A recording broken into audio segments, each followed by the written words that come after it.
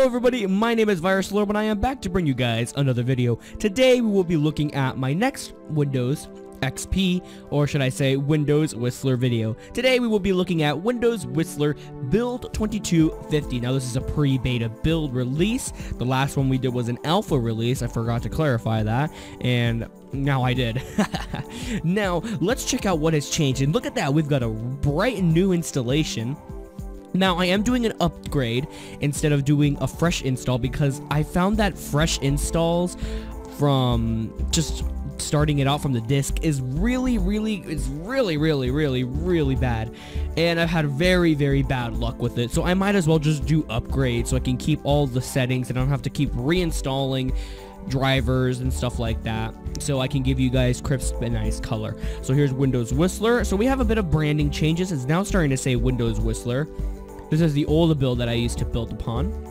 Now, let's give you a bit of information on this build. This build was compiled maybe on June 28th, 2000. So that's about a couple months right after Windows XP 22...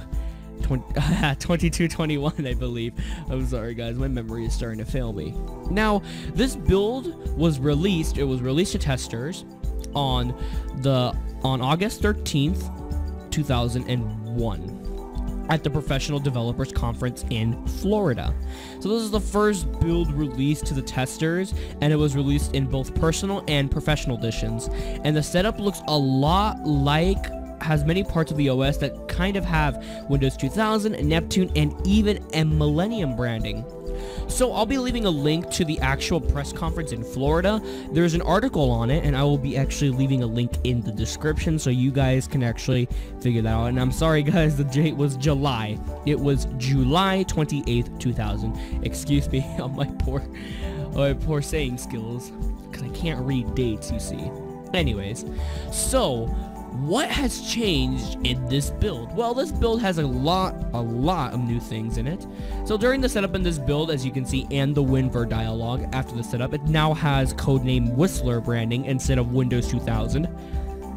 This build now has the new login screen and now has a Windows flag. So I'm going to be, I don't think I showed the actual login screen this video. However, you will very briefly see it at the end of the video if you can catch it. How, um, but that's okay. Uh, the next video, I guess I can say that's a teaser. That'll keep you guys ready for the next video so you guys can see the actual new start, uh, actual start up screen, which is pretty cool. So the Whistler banner is now, is now Windows 2001. So it includes a new start menu and a theme called Professional. Now I'll give a little bit of a note on the start menu and the theme. The control panel has updated has been updated with categories similar to what you can find in Windows XP released to manufacturing. And to help and support, the file a report page now reads Windows Whistler Beta Team instead of Neptune, and you can now turn off the machine again instead of hibernating as default. Now, I gotta give you guys a little bit of a um, little heads up on the actual getting the new start menu is that you need to actually click start menu properties by clicking the start button and then pressing the combination alt D on the keyboard and pressing apply.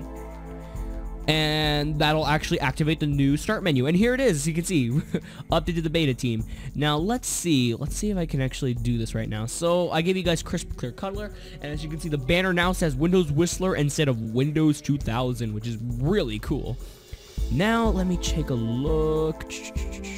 Okay, so I gave you guys the new thing. Here we go. Let's try and get the new start menu up. So here we're going to do the Alt-D, and then we're going to hit Apply, and we're going to check out what the new start menu looks like. And here it is. Here's the new start menu. It looks almost identical, kind of similar to what you would find in the RTM version. Not perfectly identical, but the actual more programs still kind of look Windows 2000-esque style. And here we go, Windows Media Player still here, still looks the same, nothing too different about it. And let me see if I can get the new theme coming up. Here we go. Where is it? Where can I find the new theme?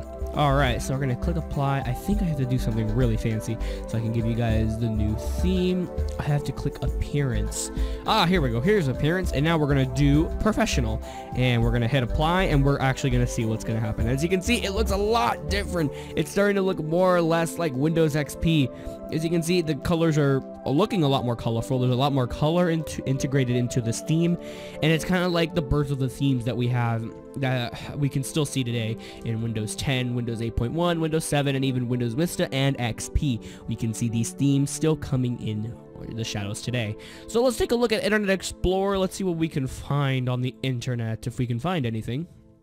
Alright, let's see. So now Internet Explorer now identifies itself as version 5.6. So this will be interesting. So let me see if I can actually hit the, uh, first we're going to test out Google. We got to go to our go-to website, google.com. So let's see if it works actually. So while that's happening, let's multitask like any other computer. Let's check the properties. The property still says 2250. Very nice. Good information to know. Now, as you can see, it still has the Windows ME style kind of look to it, but it does look, feel a little bit more different. This, like I said, it, it's incorporating all three operating systems in in one and on the article that I was going to be linking below, it gives you guys more information about the Windows Neptune project and the Windows Whistler project. So you guys should really, really check out that link down there so you guys can learn a little bit more about Windows Neptune and why specifically Microsoft decided to actually cancel the Windows Neptune project so you guys can check that out. So check out the link. It's going to be in the description and have a really nice read. It's very interesting actually. Unfortunately, the pictures aren't working but at least you guys can read what it has. It's the best I can do. I'm very sorry, guys. But hey, check it out, and hopefully you guys will enjoy it. So here we go. Google works very well. Now, Internet Explorer looks like it's working very well as well, even though I really am not a fan of Windows, of Internet Explorer. So let's check out, what else can I check out? So, yeah, it pretty much looks more or less like what Windows Whistler looked, what Windows XP looks like now. Um, I'm trying to look at the help and support. No, that's not the right, right help and support. It still kind of has it. Here we go. So here's the Windows ME help and support. As you can see, uh, they haven't changed much in here. There's not that much really in here that's been changing. Um, yeah, there's not that much that's changed in this section of it. We got contact support, support communities, really. This is one for the beta testers, just in case. And unfortunately, oh wow, do these still work? Let's, um, okay, that's interesting. So these little links that they link you to places. Okay, that's interesting. Very interesting. All right. So I think yeah, I think that's that's nothing else. That's about it. That's pretty much really about it. That's pretty much all I have on this build of Windows XP. Oh, wait, here's the control panel. I completely forgot to show you guys the control panel. Now let me switch the, here we go. Now it's starting to look more or less like Windows XP. So you can see with the appearance themes and the printers, here's our user accounts. It's no longer called Windows Identities. It is now called User Accounts. Here we go. That's very, very interesting. That's really cool. Oh, it wants me to do an update. Um, setup is complete. Okay, so this is for the automatic updates. I, I believe so. I don't, I, I don't remember. Anyways, very interesting. And that's really, really cool. Wow. So, that's really about it, guys. Thank you guys so much for watching. I really appreciate you guys watching all my videos and all the love and support you guys have been giving me throughout the whole time I've been on YouTube. I hope you guys are really enjoying my Windows Whistler videos. Please check back next week so you guys can see the next part in my Windows Whistler series. And come see how Windows XP, one of the most popular operating systems that Microsoft has ever released, comes to life. Thank you guys so much for watching. Please hit that subscribe button and check out those notifications so you guys know when I'm going to post a video. And as always, Virus Alertable, signing off.